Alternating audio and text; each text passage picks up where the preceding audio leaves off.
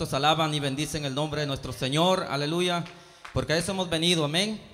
A darle la gloria y la honra a quien se la merece. Amén. Quiero darle gracias a Dios por este hermoso privilegio que nos da, amén, de poder estar en este precioso lugar y donde lo maravilloso de poder hablar de su palabra. Aleluya. Sí, enviamos saludos a todos los que nos ven a través de Príncipe de Paz, la luz para el mundo entero. Un saludo también a mi familia en Guatemala. También saludamos a nuestra hermana Claudia. Que Dios le bendiga. Sabemos que Dios está allí y pronto la vamos a tener aquí con nosotros. Aleluya. Bien, hermanos, uh, quiero invitarles que abramos las Sagradas Escrituras. Amén. En la segunda carta de Timoteo.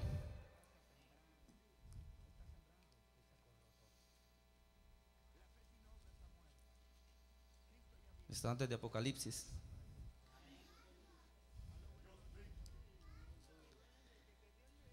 Maravilloso es el Señor. Segunda epístola del apóstol Pablo a Timoteo. ¿Lo tienen? Solo vamos a leer unos versículos, dos versículos. Del versículo 3 y el versículo 4. Leemos la palabra como está. Capítulo 1.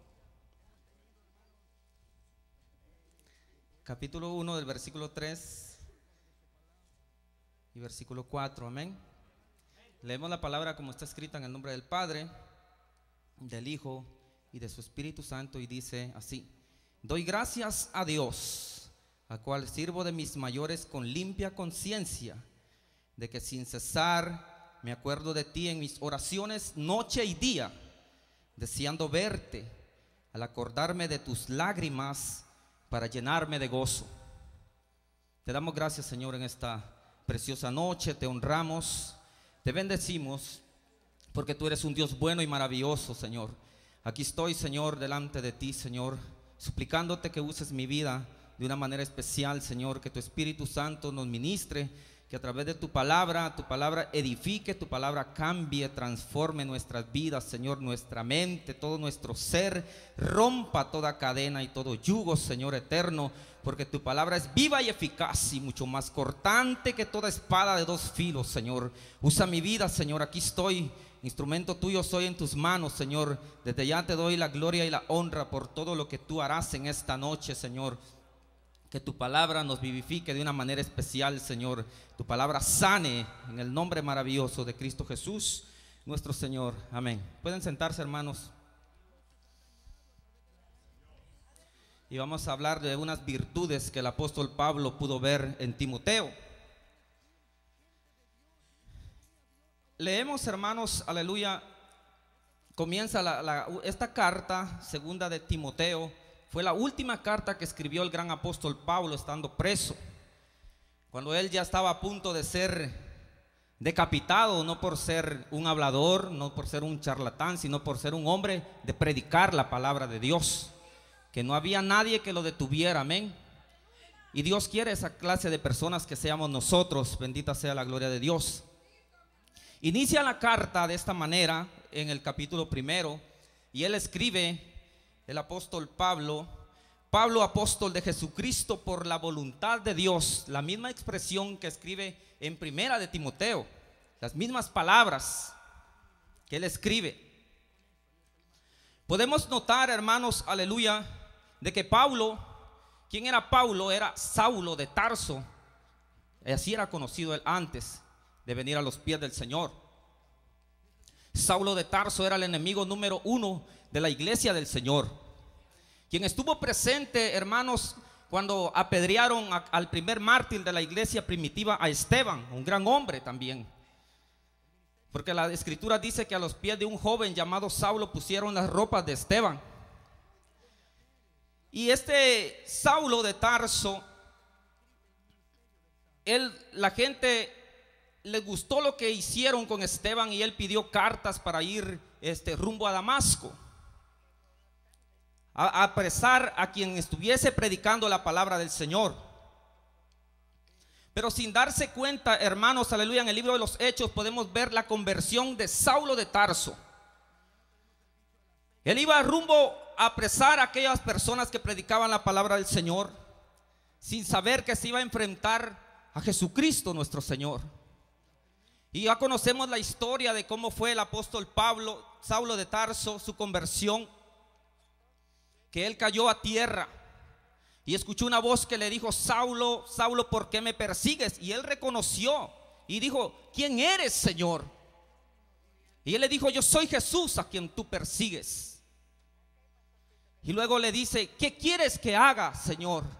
Él reconoce que no era cualquier persona que le estaba hablando. Fue allí donde cambió el rumbo la vida de aquel hombre perseguidor de la iglesia de Cristo, quien pasó ciego por tres días, que no comió ni bebió,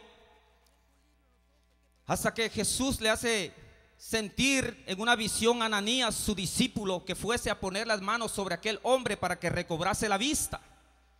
De allí comenzó este hombre su ministerio y le dijo Jesús a Ananías, yo le voy a enseñar a este lo que debe sufrir por causa de mi nombre. Podemos notar que el ministerio de Pablo comenzó allí, un llamado no por ninguna, ningún humano, sino que un llamado de parte de Dios.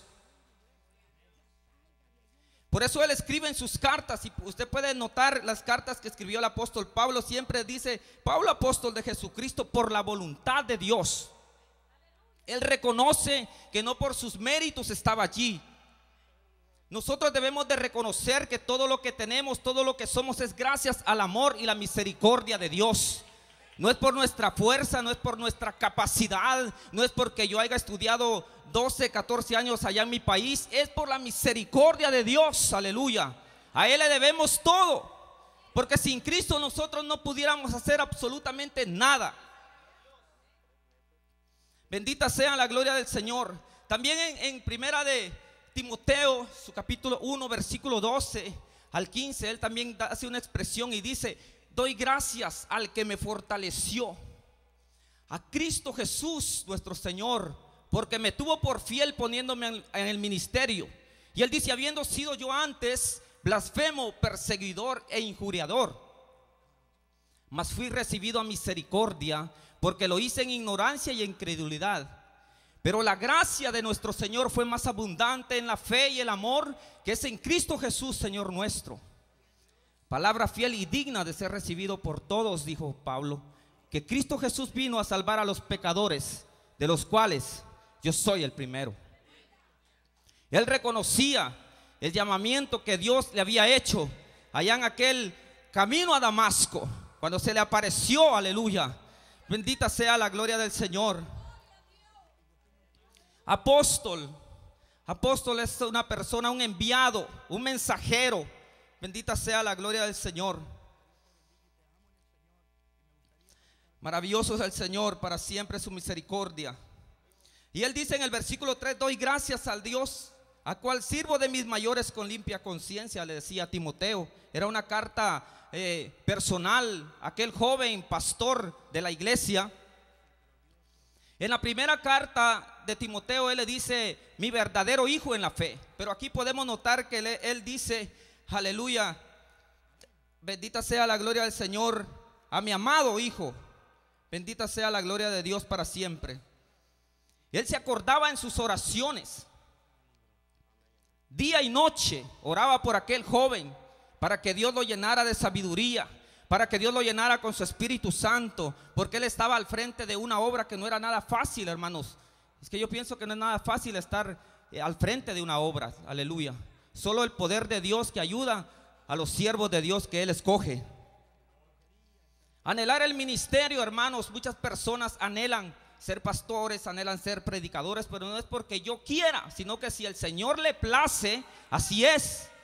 Y cuando Dios llama a alguien, Dios lo capacita. Y cuando Dios capacita, aleluya, Dios siempre está allí para proteger. Dios siempre está allí para abrir brechas. Dios siempre está allí para dar una solución. Pero cuando yo me pongo, yo soy un, fracaso total.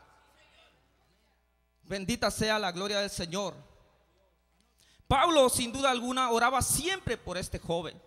Por eso es importante, hermanos, orar los unos por los otros. En vez de criticarnos, oremos por el hermano. Amén. Porque cuando usted critica a alguien, usted mismo se está haciendo el daño. Aleluya. En vez de decirle, Señor, bendice a mi hermano, porque Dios mira las intenciones de nuestro corazón. Bendita sea la gloria de Dios para siempre. Al acordarme, y le dice en el versículo 4, deseando verte, al acordarme de tus lágrimas. Bendita sea la gloria del Señor. No eran unas lágrimas de Timoteo por ofensas que los hermanos le hacían. No eran unas lágrimas de chantaje. No eran unas lágrimas, hermanos, aleluya, fingidas. No eran unas lágrimas por guardar rencor, porque hay gente que llora no por sentir la presencia de Dios, sino que de resentimiento que no pueden perdonar a su hermano. Las lágrimas de Timoteo eran unas lágrimas sinceras, eran unas lágrimas por causa del Evangelio de Jesucristo. Por eso le decía al acordarme de tus lágrimas para llenarme de gozo. Sin duda alguna fue fueron aquellas lágrimas cuando se despidieron, porque Timoteo acompañó a Pablo durante su segundo viaje y parte de su tercer viaje misionero, porque fue allí donde fue alcanzado Timoteo. En uno de los viajes misioneros allá en Listra, donde el, apóstol Pablo, aleluya, reclutó a este joven y él pudo ver virtudes en él. Él pudo ver algo lindo en este joven, aleluya. Para llenarme de gozo. El versículo 5 dice, trayendo, trayendo a la memoria la fe no fingida que hay en ti. Él se recordaba él miraba qué calibre de fe tenía este joven. Una fe fingida, en otras palabras le dijo, una fe que no es hipócrita. Eso quiere decir una fe no fingida. Bendita sea la gloria del Señor, la cual habitó primero en tu abuela Loida y luego en tu madre Eunice. O sea que Pablo ya había visto las características de estas mujeres, que eran unas mujeres que servían a Dios con todo su corazón. Eran unas mujeres que se entregaron totalmente. Y no solamente eso, sino que también le transmitieron eso a su hijo, a su hijo Timoteo, aleluya, que desde la niñez él sabía las sagradas escrituras. Ellas le, le, trataron de inyectar esa fe que ellas tenían y por eso le dijo y que primero habitó en tu abuela Loida y luego en tu madre Unice. Qué importante, hermanos, qué responsabilidad tienen los padres de familia con los hijos. Si usted es padre de familia, Eduque bien a sus hijos y lo principal que les sirvan a Dios con todo su corazón.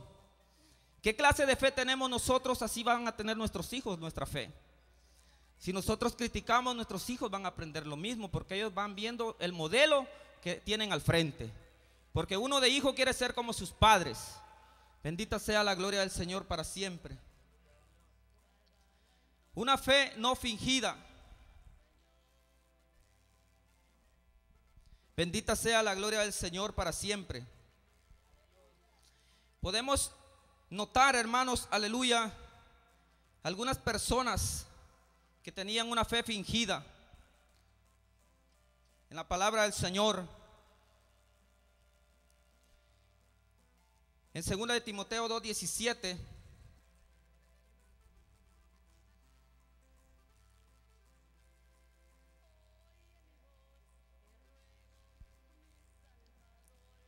Bendita sea la gloria del Señor para siempre.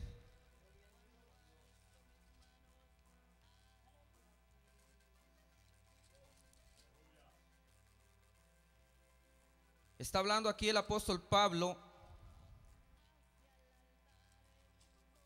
a su hijo Timoteo y le dice, y su palabra carcomerá como a gangrena, de los cuales son Himineo y Fileto, que se desviaron de la verdad, diciendo, diciendo que la resurrección ya se efectuó y trastornan la fe de algunos. Estos hombres empezaron bien,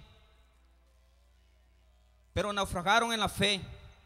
Y ellos insinuaban que tenían la fe, pero realmente se habían apartado de las verdades bíblicas que el apóstol Pablo había escrito, que nuestro Señor Jesucristo había establecido. Ellos andaban, no solamente andaban murmurando, andaban diciendo de que la resurrección ya se había efectuado. Habían, habían, andaban hablando también de que Jesucristo no resucitó corporalmente. Y podemos ver hoy en día, hermanos, tantas doctrinas erróneas que hay de personas de esta clase, que le dan otra veracidad a la palabra del Señor, pero la Biblia dice que no le podemos quitar ni poner. Porque si nosotros le quitamos y le ponemos nuestro nombre es quitado del libro de la vida. Por eso le decía esto a Timoteo, Pablo, que tuviese cuidado de esta clase de personas. Bendita sea la gloria del Señor. Porque hermanos, aleluya, si usted y yo perdemos nuestra fe, nuestra salvación está perdida. Si usted no tiene fe, en vano estamos en este lugar, porque por fe andamos y no por vista. ¿Qué es la fe? Es la fe, la certeza de lo que se espera, la convicción de lo que no se ve, dice el libro de Hebreos 11.1. Y pueda leer más adelante el libro de Hebreos capítulo 11, ahí va a ver hombres que alcanzaron cosas, ¿por qué? por medio de la fe. Son dos letras que tienen un poder extraordinario. Por medio de esas dos letras, esa palabra fe, que es un granito de mostaza, Dios se glorifica en nuestras vidas de una manera tremenda, aleluya. Dice el libro de Hebreos 11:6 que sin fe es imposible agradar a Dios, porque todo aquel que se acerca a Él, créale que le hay y que Él es galardonador para los que le buscan. Cuando nos acercamos a Dios por medio de la oración, es por medio de la fe que nosotros creemos de que Él está escuchando nuestra oración. Por medio de la fe podemos hacer que Dios se mueva de su trono y conteste cada una de nuestras necesidades. Cuando usted se arrodilla, hermanos, aleluya, crea que Dios existe porque Él es real, que no le vemos, pero podemos sentirle, cuando usted viene tal vez quebrantado, cargado de tantos problemas y viene a este lugar, aleluya, y viene a clamarle con todo su corazón, con aquella fe, aleluya, como aquel hombre centurión que dijo solamente di la palabra y mi criado sanará, como a esa fe de aquella mujer del flujo de sangre que decía si tan solo yo tocar el borde de su manto, yo seré sana, aleluya. Por medio de la fe haremos proezas en Dios. Por medio de la fe alcanzaremos cosas grandes en Dios, aleluya. Es tiempo de que usted y yo tenemos esa fe solo de activarla, solamente de creer en nuestro corazón de que Dios es real para contestar, que para Él no hay nada imposible. Aleluya. Bendita sea la gloria del Señor para siempre, porque Dios es bueno, aleluya. Eh, Jesús, Jesús dijo que tuviéramos fe tan solo como un granito de mostaza. Haríamos cosas grandes en Él, aleluya. Y él dijo que mayores cosas haríamos que él hizo. Y cuando leemos los milagros de Jesucristo, aleluya, fueron tremendos. Pero él dijo, si creemos, haríamos cosas más grandes todavía. Bendita sea la gloria del Señor para siempre. Maravilloso es el Señor. El versículo 6 dice, por, por lo cual te aconsejo que avives el fuego del don de Dios que está en ti por la imposición de mis manos. El don de Dios es un regalo de Dios. Podemos eh, ver en el libro de Efesios, capítulo 2, versículo 8 y 9, cuando habla de la salvación. Y él dice, por gracia sois salvos por medio de la fe. Y esto no de vosotros, pues es un don de Dios.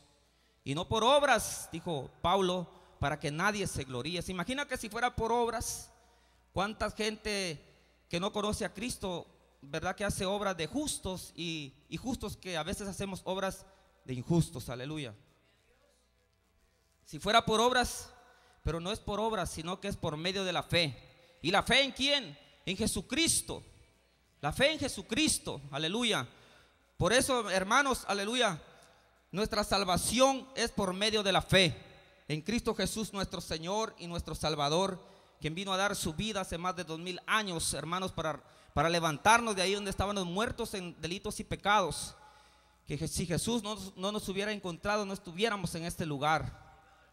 Muchas veces decimos, yo busqué al Señor, que bueno fuera. Nosotros no queríamos nada. Bendita sea la gloria de Dios para siempre. Porque no nos ha dado Dios un espíritu de cobardía, sino de poder y dominio propio. En Cristo somos más que vencedores, por más que vengan las luchas, las pruebas a nuestras vidas, hermanos, aleluya. Sabemos de que el poderoso gigante está con nosotros. Por eso Pablo le decía a Timoteo, porque Tú no tienes un espíritu de cobardía, tú no puedes marchar para atrás, tú tienes que enfrentar, tienes que pararte en la brecha y luchar, porque hermanos, aleluya, a veces la batalla es fuerte y a veces tenemos tantos problemas, tantas tantas dificultades, aleluya, pero lo maravilloso es de que no estamos solos, aleluya. El poderoso gigante que le dijo Dios a Jeremías, porque te afliges Jeremías, aleluya. Yo estoy contigo como poderoso gigante. Y si el poderoso gigante está al frente de mí, ¿por qué yo voy de temer? Aleluya. Si habito debajo del abrigo del Altísimo, nada me va a pasar, aleluya. Aunque las leyes cambien, aunque todo, hermanos, aleluya, se ponga difícil. Yo sé que mi redentor vive, el Dios poderoso que tiene el cuidado específico de cada uno de nosotros el que nos da su Espíritu Santo para seguir adelante. Bendita sea la gloria de Dios para siempre. Mi alma te alaba y te bendice. Pablo tenía un cuidado especial en su hijo Timoteo. Le recomendaba siempre, le decía, te encarezco delante del Señor Jesucristo que prediques la palabra. Predicar la palabra del Señor, hermanos, aleluya. No quitarle ni ponerle. Prediques la palabra redarguye, reprende, exhorta con toda paciencia y doctrina. Consejo del apóstol Pablo siempre podemos ver en primera y segunda de Timoteo que él siempre le, daba esos consejos. Sufre penalidades como buen soldado de Jesucristo, aleluya. Porque en este batallón no se, hermanos, no se permiten desertores, aleluya. Aquí no se valen los desertores. Si Dios, Dios ha puesto su mirada en usted, no importa las dificultades, marchemos hacia adelante, aleluya. Porque la victoria es nuestra en Cristo Jesús, aleluya. Maravilloso es el Señor para siempre. Bendita sea la gloria del Señor. Esta, última carta del apóstol Pablo, cuando ya iba a ser sacrificado, cuando le dice que lo llegara a ver pronto. Ya en sus últimos versículos donde dice, procura venir a verme pronto. El apóstol Pablo encarcelado, porque Demas me ha desamparado amando este mundo y se ha ido a Tesalónica. Crescente fue a Galacia y Tito a Dalmacia. Solo Lucas está conmigo, le decía. Usted puede imaginarse el apóstol Pablo ya para ser decapitado, pero él siempre estaba preso, él siempre decía, pero la palabra no está presa.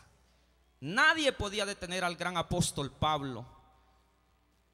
Ningún azote, ninguna cárcel, él siempre se mantenía predicando la palabra del Señor. Algo que me llena eso de, de gozo ver a aquel hombre y a Silas cuando fueron azotados con varas. En vez de ponerse a llorar como nosotros muchas veces que llegan las pruebas y nos ponemos a llorar tanto. En vez de levantar nuestras manos y decirle, Señor, gracias te doy, gracias te doy, Señor.